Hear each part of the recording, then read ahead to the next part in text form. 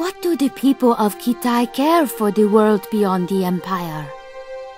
Our great wall protects us from the Hyrkanian hordes. Let them have their frozen steppes and windy tundra. Let them squat among the ruins of ancient cultures. Let them bicker with the half-human creatures of the wilderness.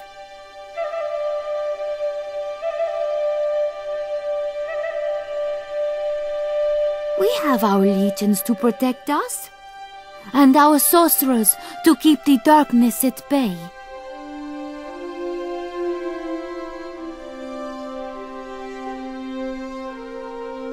Why then this doubt? Why this lingering suspicion that the Great Wall was not built to keep the darkness at bay, but to keep it contained?